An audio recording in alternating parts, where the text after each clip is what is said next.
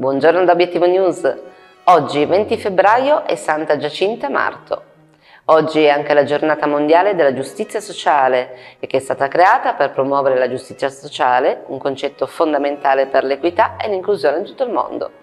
Questa giornata speciale è stata istituita dalle Nazioni Unite nel 2007 per sensibilizzare l'opinione pubblica sui temi della povertà, dell'occupazione dignitosa, dell'uguaglianza di genere e di diritti umani. La data del 20 febbraio è stata scelta per evidenziare l'importanza di costruire società giuste e sostenibili.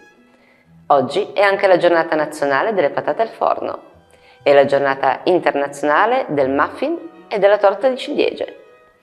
Tra i nati oggi annoveriamo Kurt Cobain, 1967, Rihanna, 1988 e Cindy Crawford, 1966.